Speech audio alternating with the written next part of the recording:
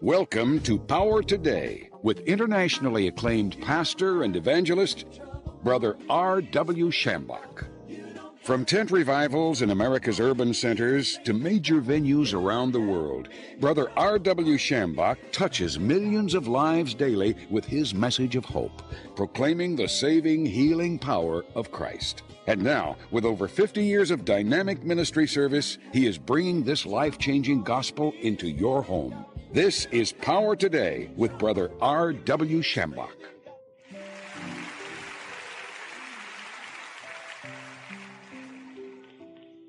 I want to read something to you from the book of Acts. At the very beginning of the book, it says the Acts of the Apostles. I like to change one word. It's the Acts of the Holy Ghost. And this is the only book in the Bible that has not ended. There has no ending to it. Because that means the Holy Ghost is still acting. He's still performing the miraculous and the supernatural. I want to read from the third chapter of the book of Acts, first verse. Have your Bible, you can follow me, but listen as I read it. Now, Peter and John went up together into the temple at the hour of prayer. Now, that's the first miracle. They were praying. That's how Pentecost started.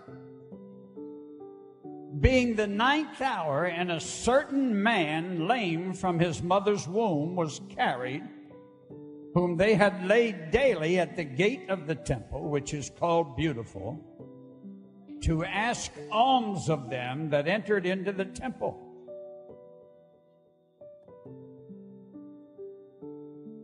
Who, seeing Peter and John about to go into the temple, asked for alms. Peter, fastening his eyes upon him with John, said, Look on us. And he gave heed unto them, expecting to receive something of them. He didn't know what he was going to receive, but I, I, I underlined the word he expected. He was expecting to receive something. Then Peter said, Silver and gold have I none but such as I have, I give thee, or give I thee. In the name of Jesus Christ of Nazareth, rise up and walk. And he took him by the right hand and lifted him up. And immediately his feet and ankle bones received strength. And he, leaping up, stood and walked and entered with them into the temple, walking and leaping and praising God. They broke up a prayer meeting. I'd like to see some more prayer meetings broken up. And all the people saw him walking and praising God, and they knew that it was he which sat for alms at the beautiful gate of the temple. And they were filled with wonder and amazement at that which had happened unto him. I would like to suggest in your devotional time, read the first five, six chapters of this, and you will see how miracles played a very important part in the establishment of the church. In the third, in the fourth chapter, let me just read a little from this. Verse number 13. Now, when they saw the boldness of Peter and John, I believe we need a revival of boldness. I'd like to see God's people get bold and not be ashamed of what they believe and let people know that it's for today just like it was 2,000 years ago. When they saw the boldness of Peter and John and perceived that they were unlearned and ignorant men, they marveled and they took knowledge of them that they had been with Jesus. What a testimony. And beholding the man which was healed standing with them, they could say nothing against it. But when they had commanded them to go aside out of the council, they conferred among themselves, saying, What shall we do to these men? For that indeed a notable miracle which hath been done by them is manifest to all them that dwell in Jerusalem, and we cannot deny it. He's doing it again. But that it spread no further among the people, let us straightly threaten them that they speak henceforth to no man in this name. They called them and commanded them not to speak at all nor teach in the name of Jesus. But Peter and John answered and said unto them, Whether it be right in the sight of God to hearken unto you more than unto God, ye judge. For we cannot but speak the things which we have seen and we have heard. Bow your hearts and let's pray. Father, in the name of Jesus, I thank you for the reading of the Holy Scriptures. The anointing of God is already here. You can sense it when you walk into this auditorium. That anointing destroys every yoke. People are here from all over. Many of them are here for a miracle. Physically, some spiritually, some in their family relationship, some in their mind. Some need to be delivered from demon forces. And they've come not only to hear the word, but they've come to see God perform a miracle in their life. Lord, I've been praying, let this be the night don't allow one soul to leave this place disappointed. Let them leave here tonight singing a new song. I got just what I wanted from the Lord. And everybody said, Amen, amen. and amen. Many of you, I'm not going to go into the whole thing, but many of you have heard me tell the story, especially on TBN of the greatest miracle that I ever witnessed was in A.A. Allen's meeting. A lot of people, when I tell that, they come to me, it's church folks. They said, Did that really happen? I said, uh, No, I'm just telling a lie. Sinners will believe what you say but it's church folks that don't believe it. Where be all your miracles? When we were in Birmingham, Alabama, I'll never forget it. I'll just paraphrase it.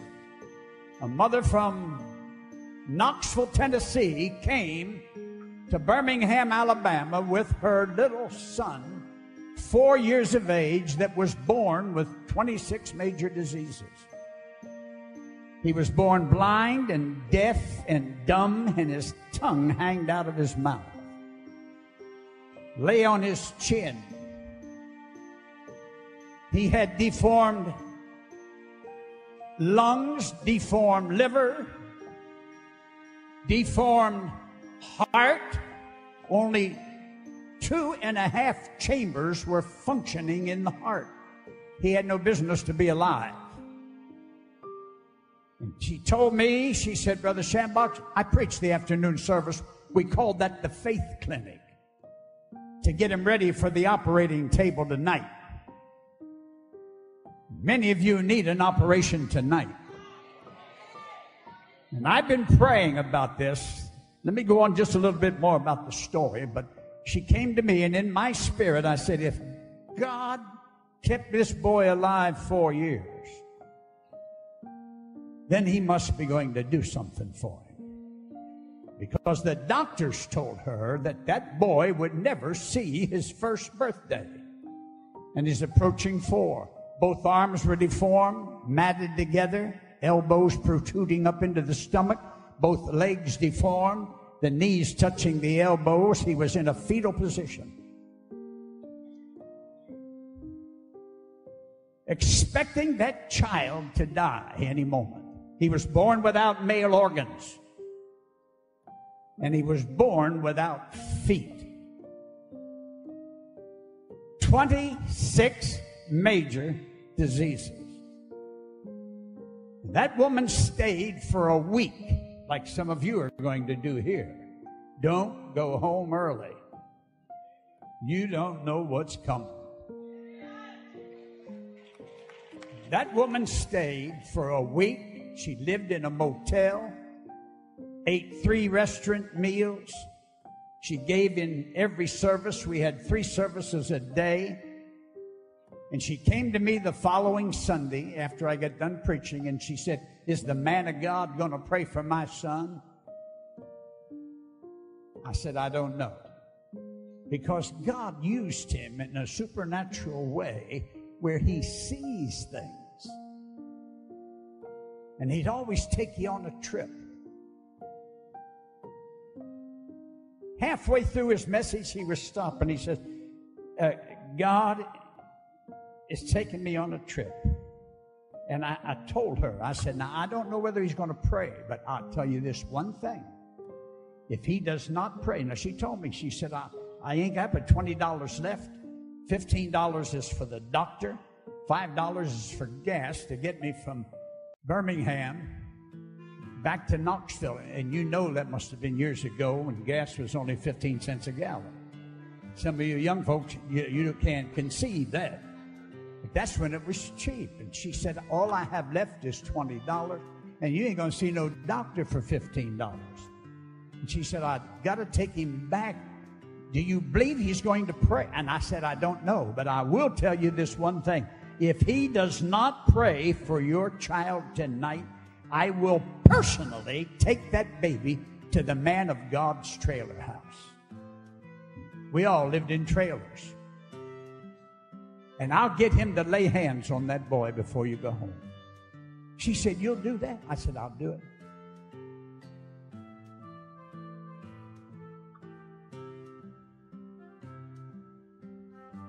She went back to her seat, got into service that night. I introduced man of God. He come flying out there. And he said, I believe God's going to do great things tonight. He said, But before we do this, I'm going to take an offering. Doesn't that sound familiar? I hope you all obeyed God tonight when Pastor Parsley asked you to do something. Because that's what triggers many a miracle. It did in this case. And she said, All I have left is $20. And he come out and he said, I believe God's going to do great things tonight.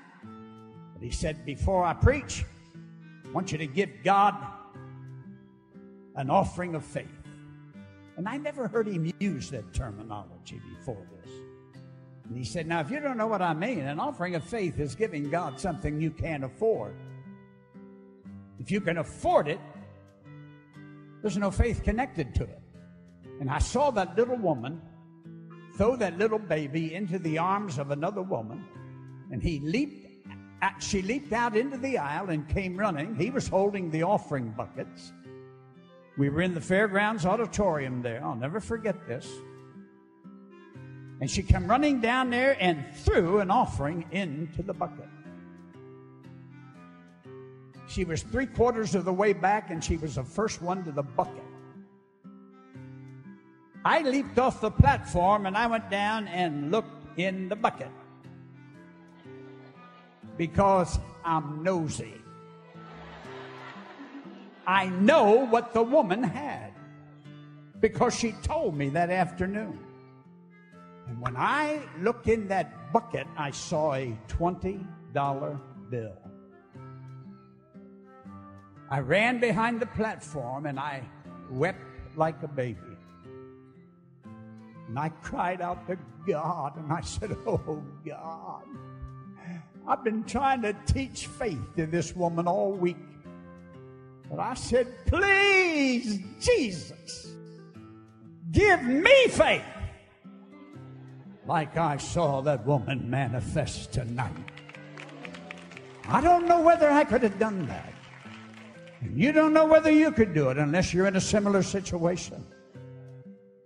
I jumped back on the platform. And he started to preach. He was into his message about 10 minutes and he said, I'm being carried away in the spirit. I said, Oh no.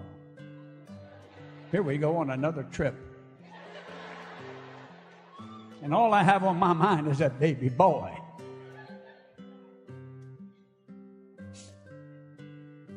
And he says, I'm coming up on a white building.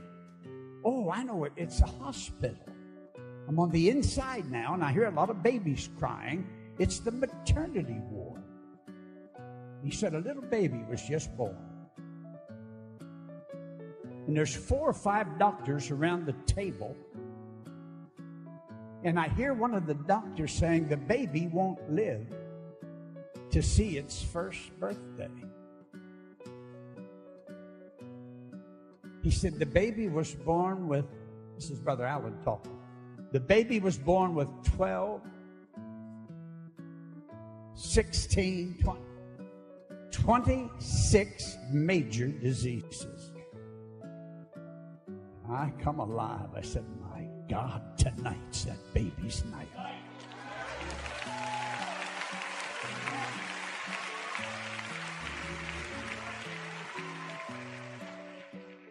He said, The doctors are wrong. The boy's alive. And he said, I see the mother getting into an old Ford, packing a suitcase, another lady with her. And he said, I see the Tennessee Alabama border. He said, that old Ford's pulling into the parking lot. He said, Lady, you're here tonight. Bring me your baby now. God is going to give you 26 miracles.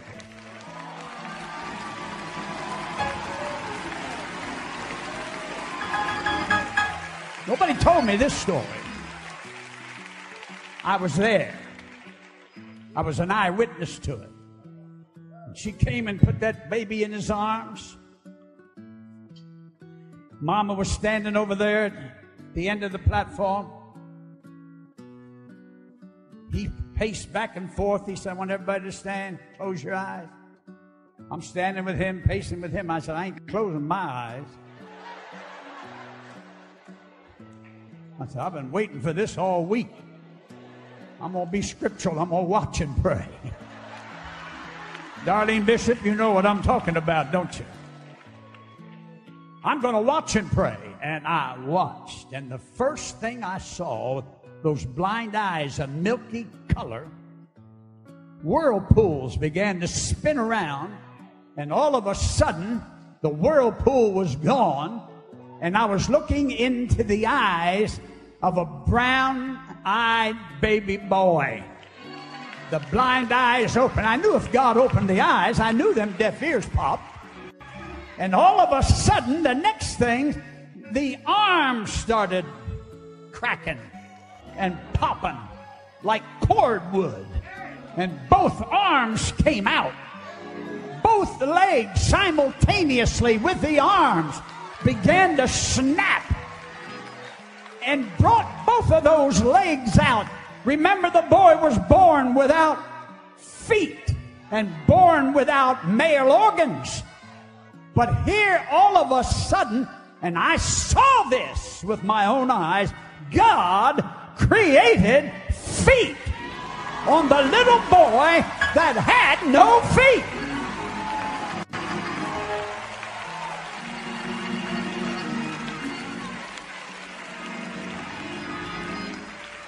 What do you want God to do for you?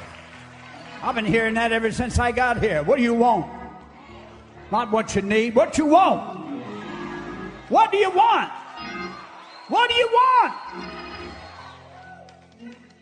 Uh, anything he wants to give me.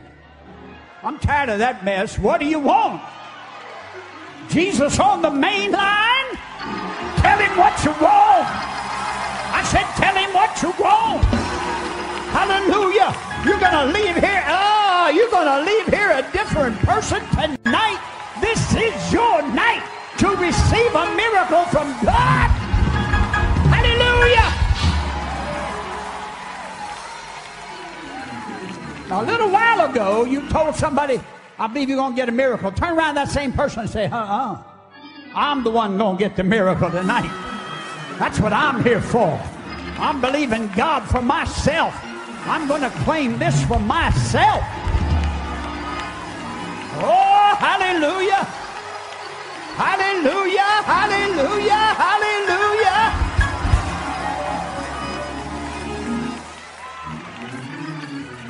I cannot deny God's power.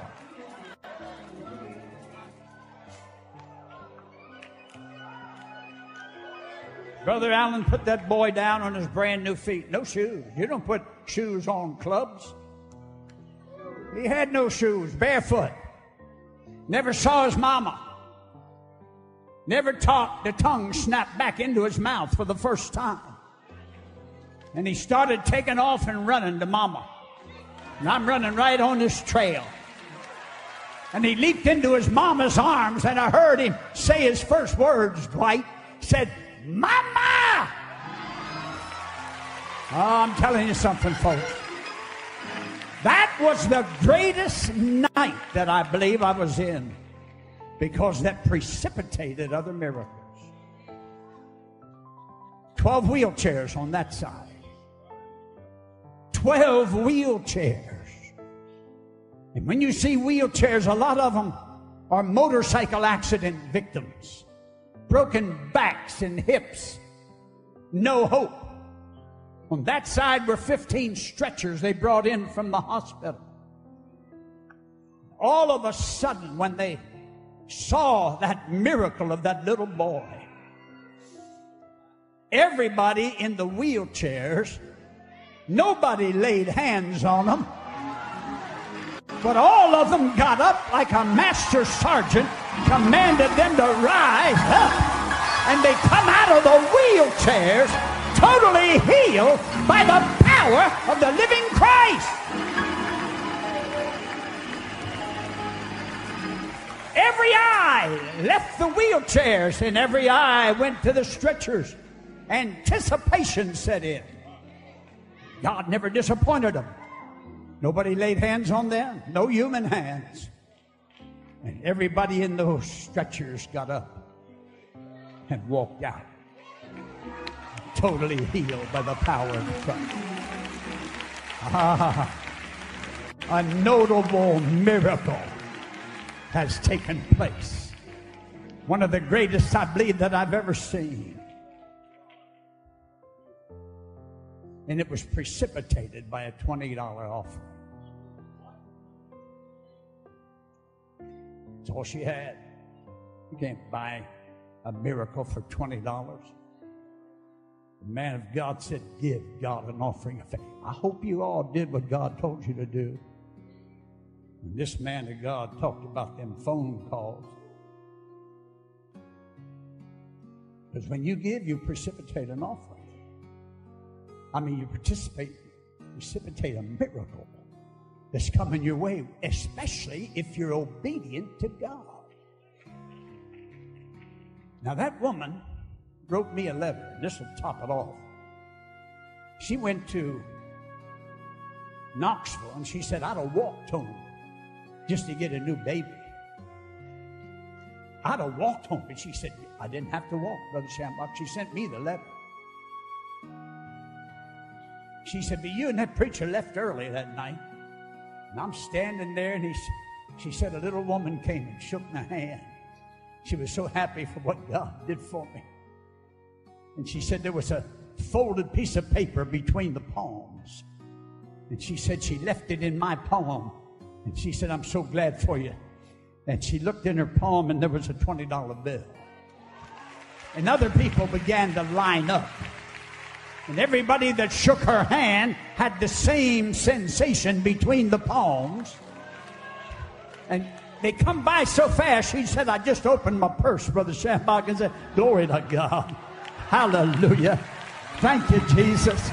Bless the Lord. Oh, my soul. hey! What do you want?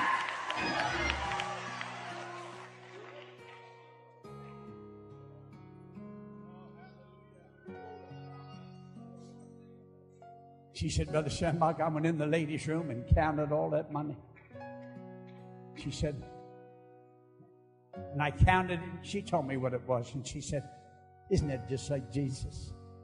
She said, I ate in three restaurants every day, gave in three offerings every day, paid the hotel bill. She said, God sent me home with more money than what I came with.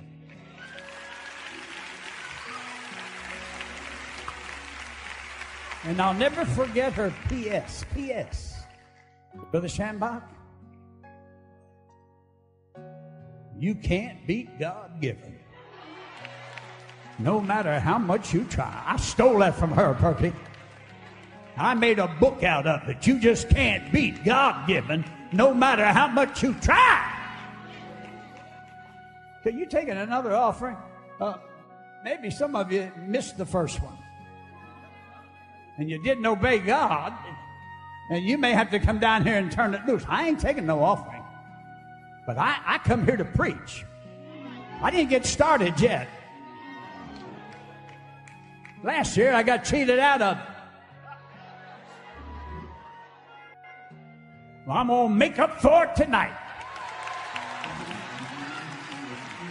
It's only five after eight in Tyler, Texas. Brother Parsley always says, make yourself at home. I'm going to make myself at home. What do you want God to do for you? Just what do you want? Tell three people what you want. Go ahead now.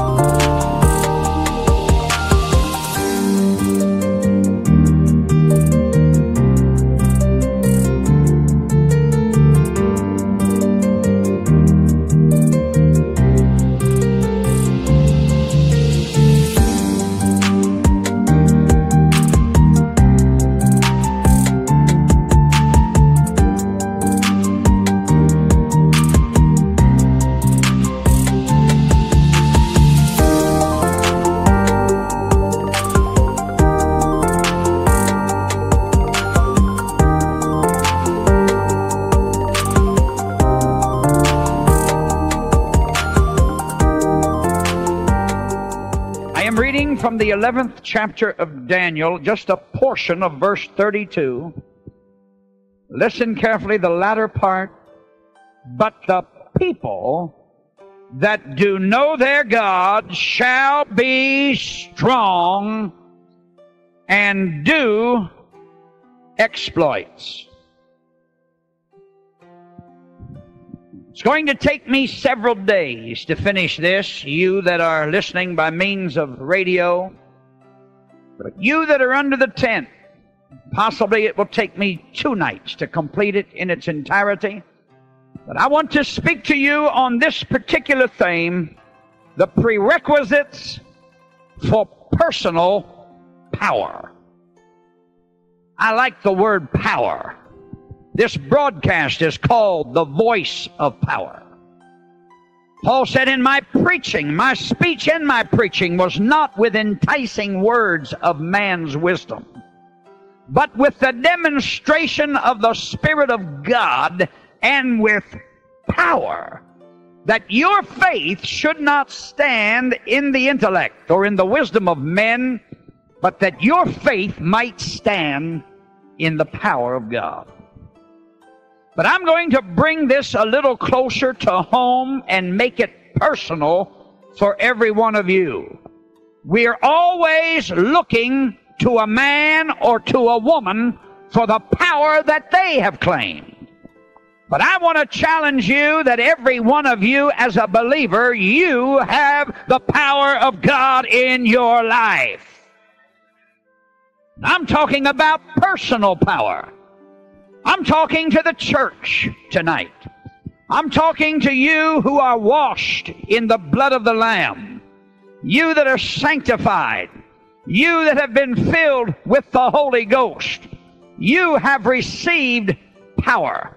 But there are certain prerequisites. And I'm using this particular text from the book of Daniel because I believe that this is one of the key points in the church today. Paul, writing to the church at Ephesus, he says, Finally, my brethren, in the sixth chapter, be strong in the law and in the power of his might. Now, all you got to do is look at your own life, and you can understand already that we're powerless. You don't have to holler amen if you don't want to, but it's truth anyhow. You don't have to look at the church, all you got to look at your own life. We are in a mess. And this is the condition that the church is in. And I believe the reason why the church is in this in condition is because Daniel hits it on the head. But the people that do know their God shall be strong and do exploits. The reason why there's no power in the life of the church and no power in the believer is because we do not know Him. We know about Him, but we don't know Him. Power stems from knowledge.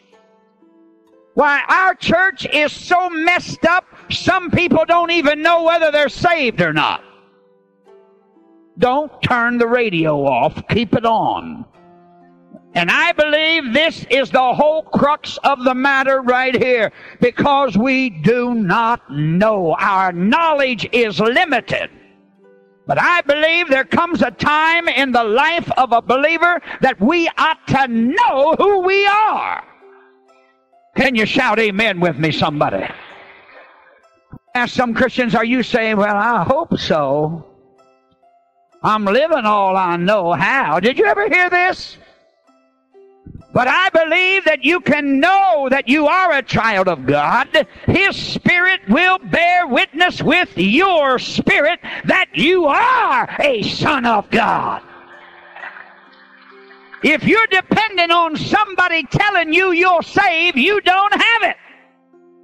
It was right here in Seattle some years ago. Some young people came to me and they said, Hey, preacher, Am I saved? I said, No. You don't know me. I said, I don't have to know you. When you get saved, you won't have to go around asking somebody, Am I? You'll be going around saying, I am saved because you're going to know it without a shadow of a doubt. Can you shout, Praise the Lord with me, somebody?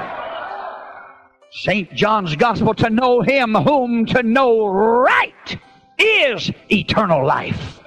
You can know him right or you can know him wrong. But here Daniel, way back in the Old Testament, breaking the people.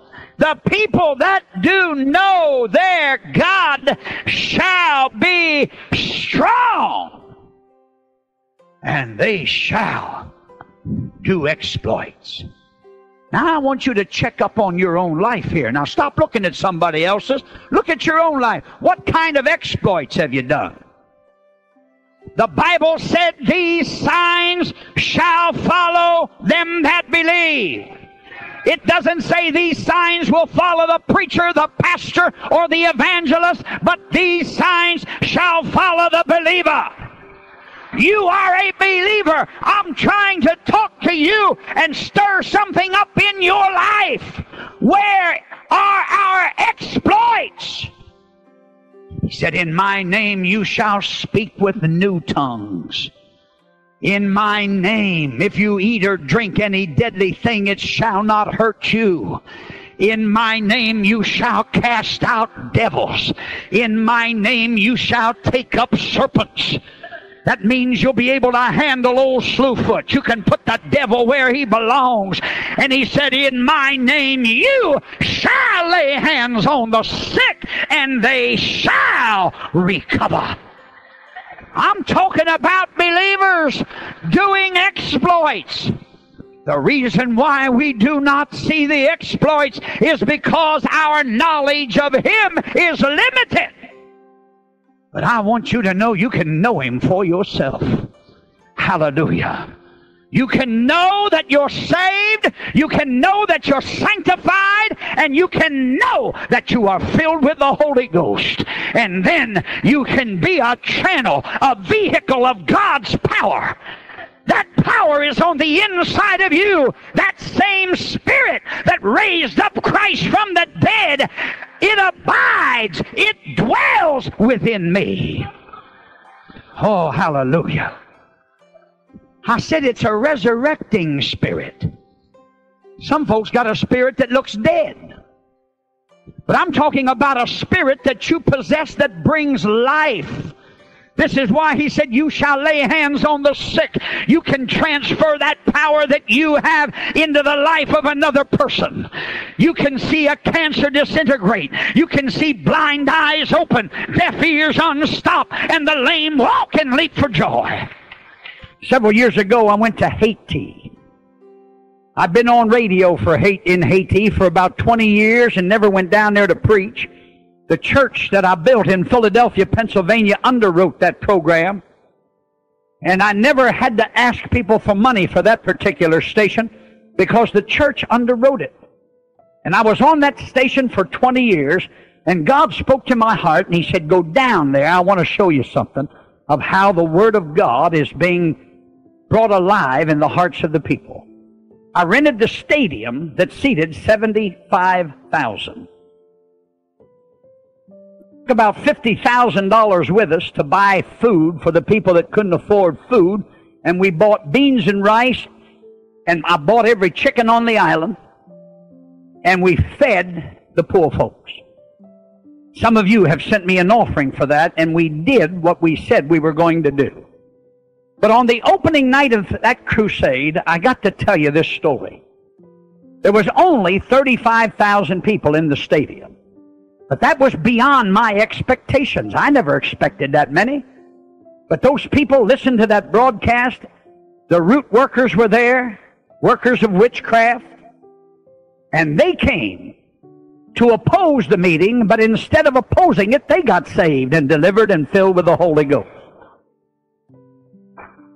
On the opening night of that meeting, I prayed one prayer for those 35,000 people, and I asked God to perform miracles, and the power of God began to fall.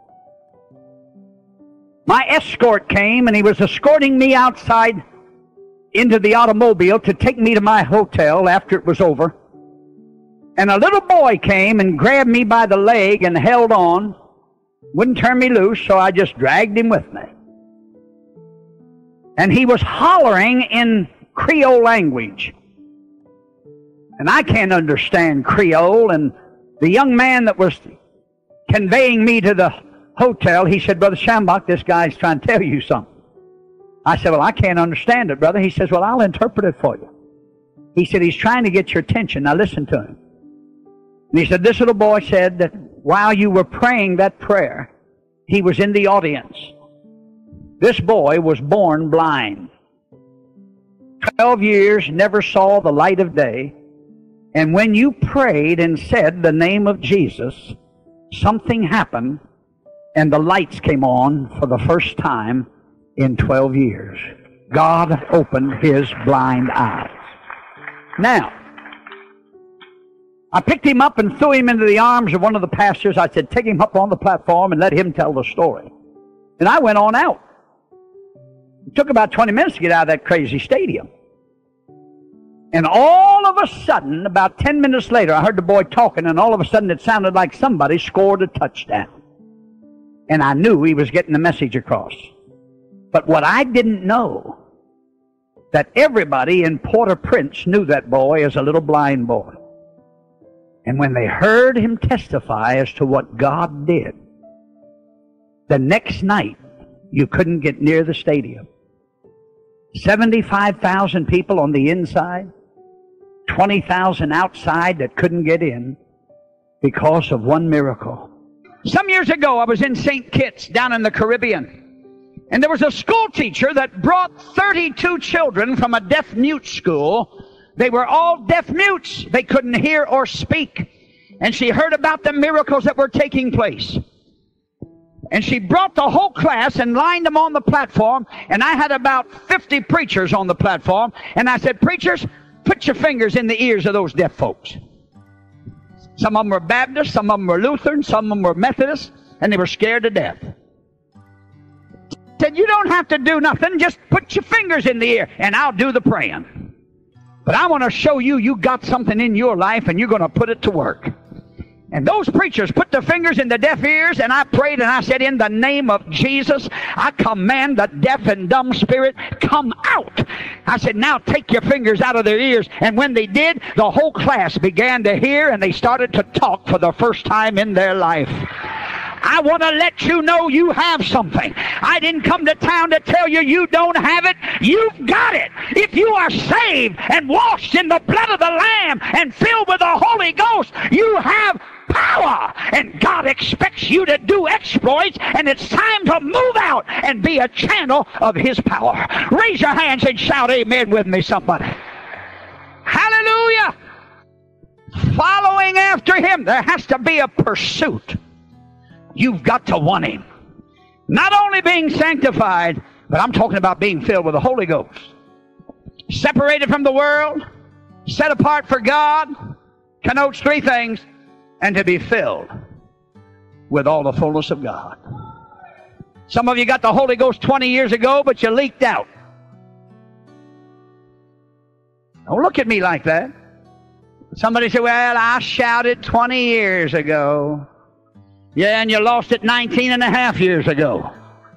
That's why you got to keep coming back for a double portion of the Holy Ghost to be filled with the Spirit, to be running over, brimful experience, so that you can be a blessing to somebody else.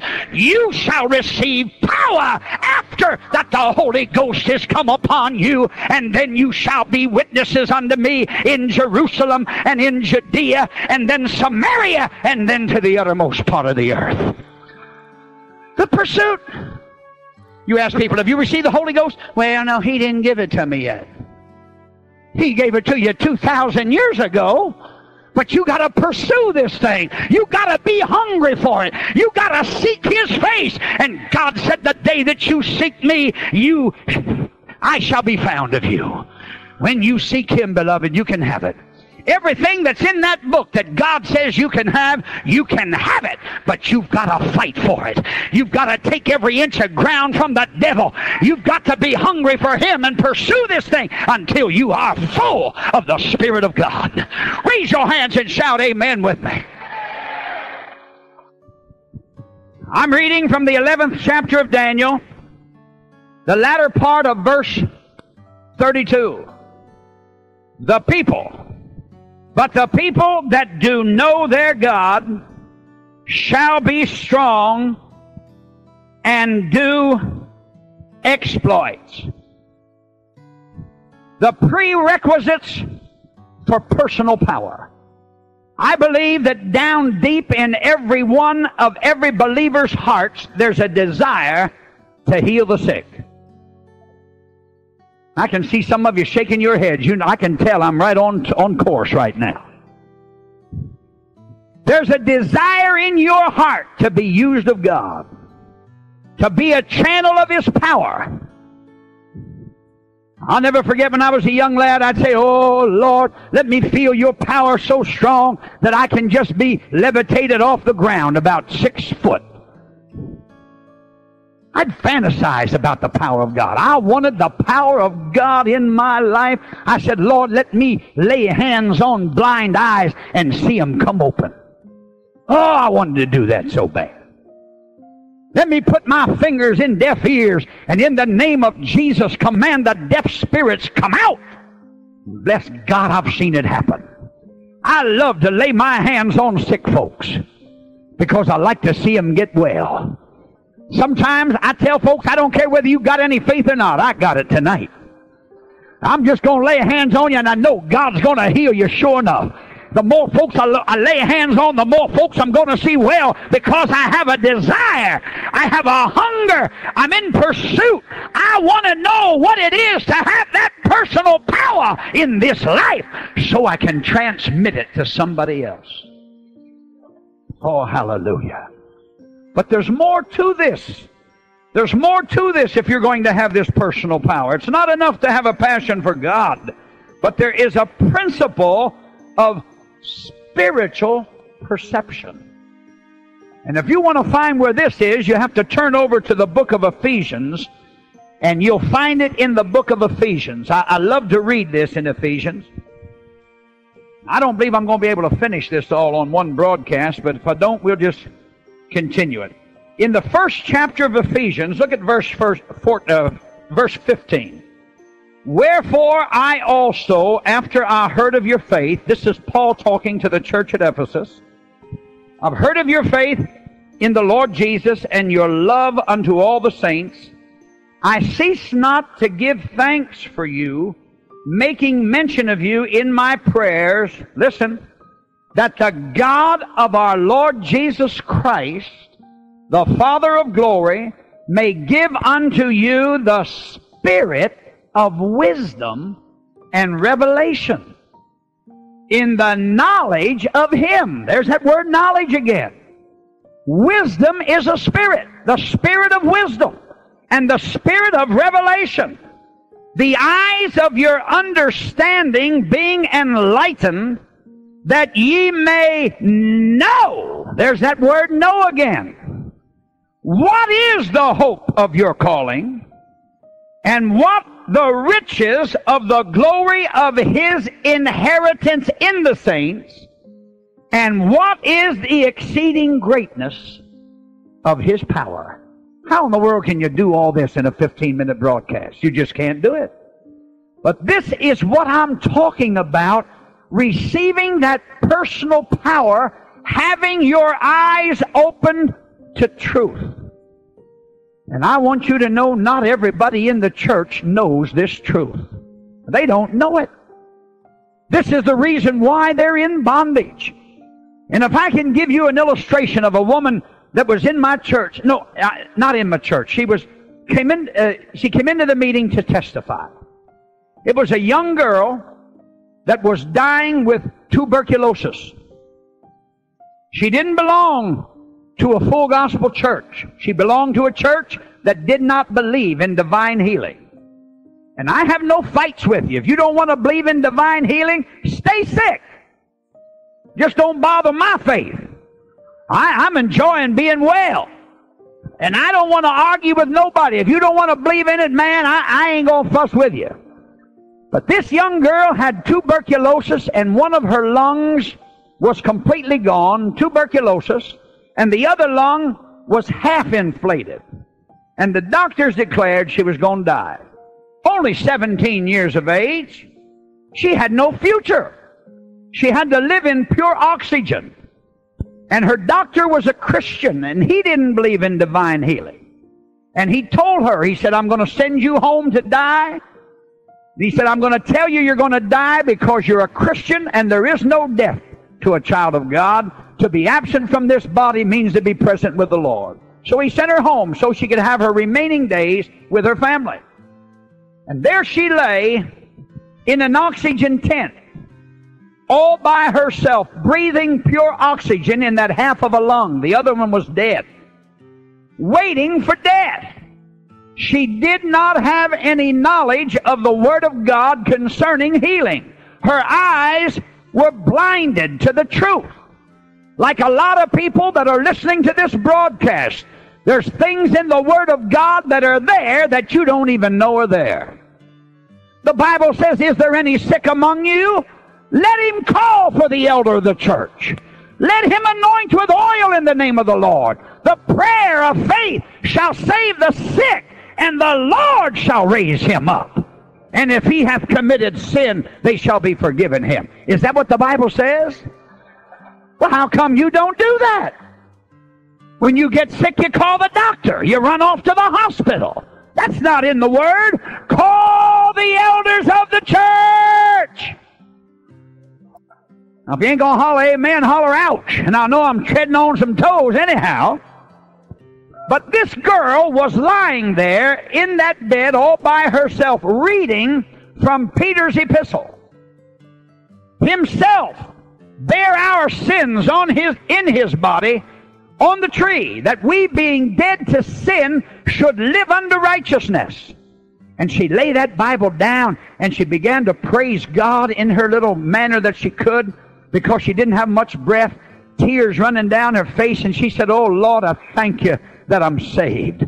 Thank you for salvation. Lord, I'm not afraid to die. In fact, she said, I'll be glad to see you, Lord, just to get me out of this mess, and I'll have a brand new body. About 10 minutes praising God like that, and she picked the Bible up again.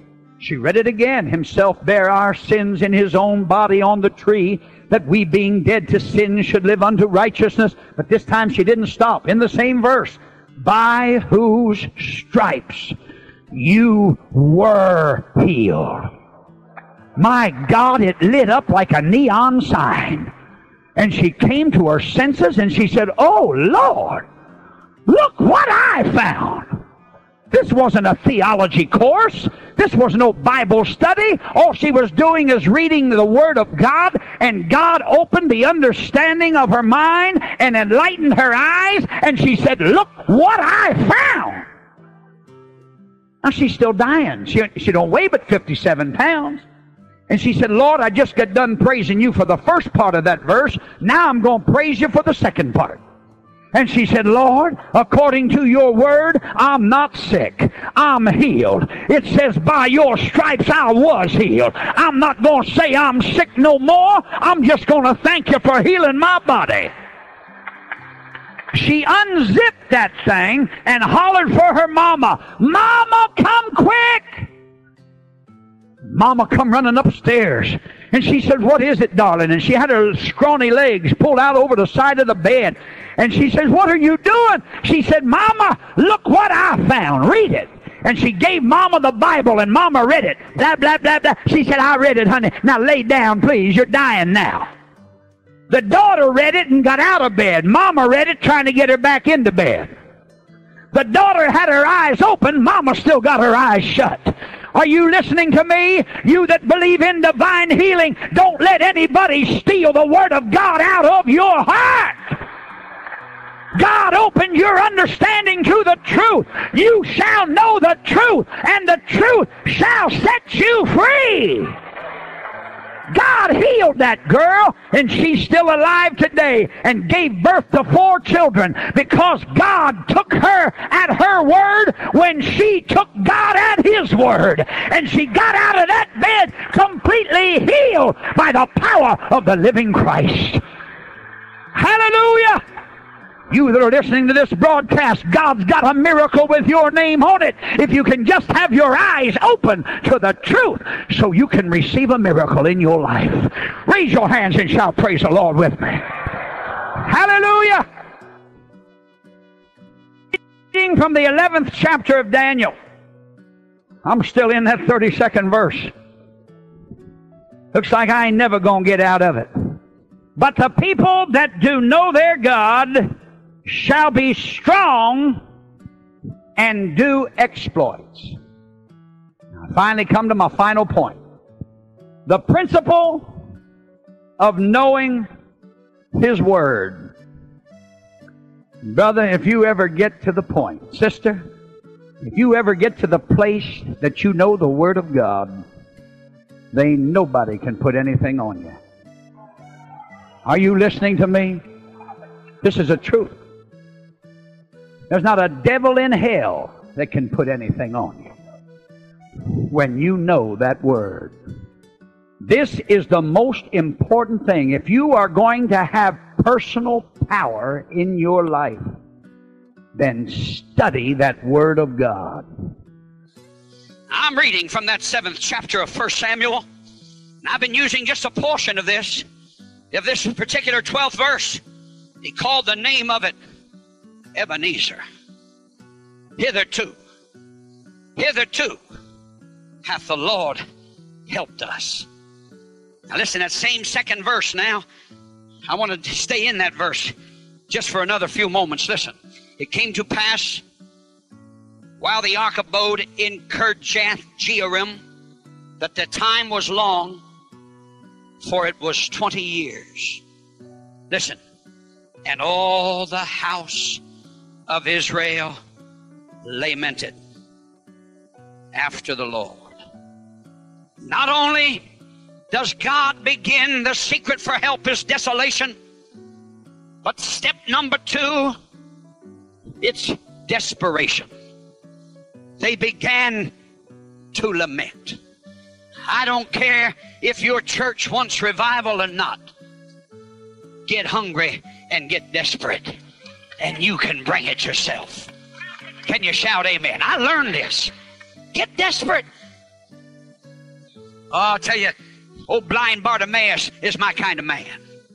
I mean, he was desperate. Begging for alms. He must have spent a fortune, and doctors couldn't do anything to correct his vision. Somebody stopped him one day and said, Bartimaeus, if you ever find a man coming through town by the name of Jesus, get to him, man. He's a blind man healer. Get to him can picture Bartimaeus grabbing him by his lapel saying, Tell me his name one more time. Name's Jesus, man. Jesus. I'll never forget that name. Jesus. Old Bartimaeus was by that highway side begging for alms when all of a sudden he heard the, thist- the rustle of many people rushing by him going into the center of town. Oh, it can't be one of them local politicians. Uh-uh. Democratic convention. Why, they couldn't get a crowd together like that. There's somebody else coming to town. That sure can't be old President Reagan. He can't get no crowd either. My God, who is it coming to our town? He can't find nobody to stop to tell him until he reaches out and catches a hold of a coattail. And he said, Who is it? Who's coming to our town? And the man said, Jesus of Nazareth is passing by. Woo! Are you listening to me? Jesus of Nazareth is passing by. Now, he could have been a good churchman and said, Well, I'll just wait here till he comes by my spot. no way. Uh-uh, he couldn't see to get to him, but he pitched his voice in the direction of that noise. And he cried. I said he cried. He got desperate and he cried, Hey, Jesus! Have mercy on me, thou son of David! Called him by his proper name. He didn't stop him. He started crying out. The people come by and put the hand on him and said, Shh, sit, sit down, man. What are you making all that noise in church for? You don't have to make all that noise. That's what a woman told me. She stopped me and she said, You don't have to yell. God ain't deaf. I said, He ain't nervous either, honey, and I got something to holler about. I'm going to shout. Hallelujah. Get desperate. Here, Bartimaeus, put this little coin in your in your cup. Sit down. Stay in that condition you were in. He said, Look, I'm the one blind. I'm getting out of this mess. The Bible said, and I can just picture him throwing that tin cup aside and still had some coins in the thing. He said, I'm sick of being blind. I'm tired of being blind. The blind man healer is here. And the Bible said he cried louder. Hey, Jesus! Whoopee! Hey, over here, Lord! Ah, get his attention. Come to town to tell you he's here. He's walking the aisles. He's walking in out of them chairs right now. You may not be able to see him, but Jesus is here. How bad do you want this thing? Cry out! Call on him! Whosoever shall call on the name of the Lord shall be delivered. Jesus is here. Oh, hallelujah. Get desperate. Oh, you read that. Go back in Mark's gospel and read that story. He was on his way out of town. Nobody got healed. Nobody got blessed. And he was on his way out of town, but Bartimaeus saved the day for him. And when he cried out, the Bible said, Jesus stood still. I can picture him saying, Don't tell me somebody got faith in this town. Bartimaeus stopped him and he said to his disciples, Go get him and bring him to me. The only desperate one in town. They come over and said, Bartimaeus, be of good cheer. The master calls for you. Your day of blindnesses are over. From now on, you're going to see. Hear me? I made up my mind. I'm going to be that one. I'm going to cry out for revival. If you want to play church, go ahead and play. I'm going to have revival. If you want to stay sick, stay sick. I'm getting desperate. I'm going to call on the name of the Lord. It's time for deliverance, and it's time to stop him right there where you are. Raise your hands and shout, Praise the Lord with me. Hallelujah! Hallelujah!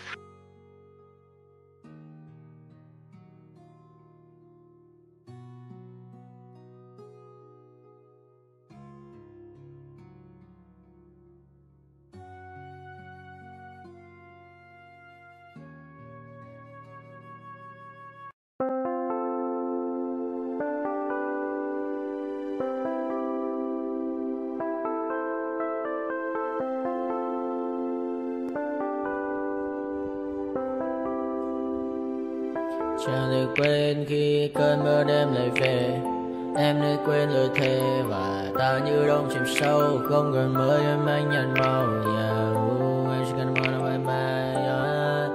Chỉ còn là những cơn mưa vô ra Cho em mơ em không mơ anh yeah. Anh một đêm mơ Chỉ cần bên em không được cần nhớ Và chỉ có em không còn nhớ Và người ta bên nhau như anh.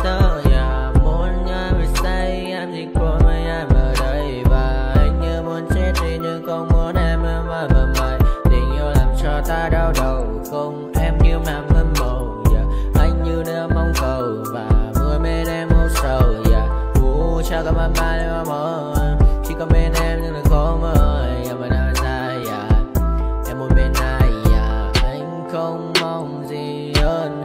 Chỉ mong em sẽ ở đây ôm anh thật gần. Anh chỉ mong đôi ta được có nhau. Mà đừng em đâu anh có em. Một đêm bên anh có em. Ta sẽ trao nhau môi hôn thật sâu. Ôm anh cứ đưa bằng gâu Và em chỉ nằm đâu.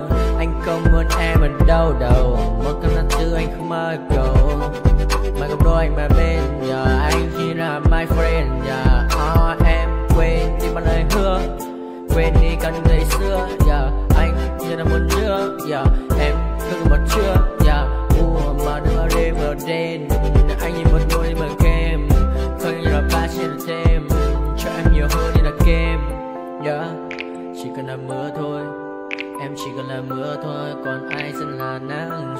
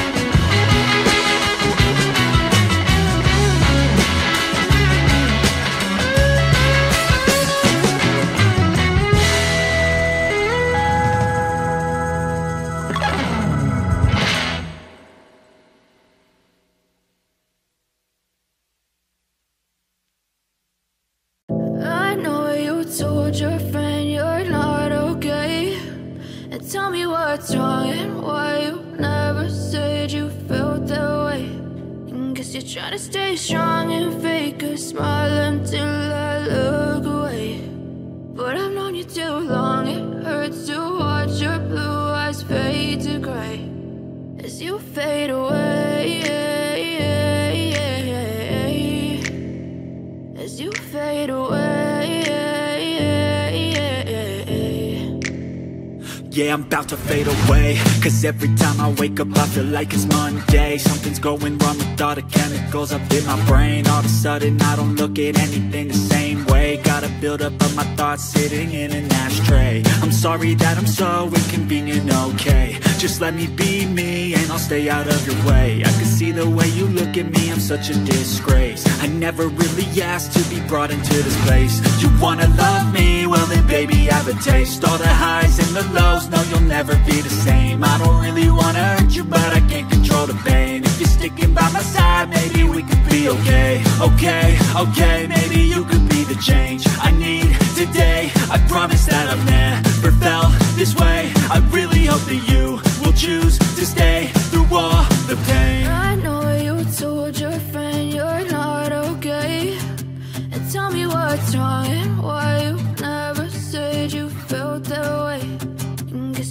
stay strong and fake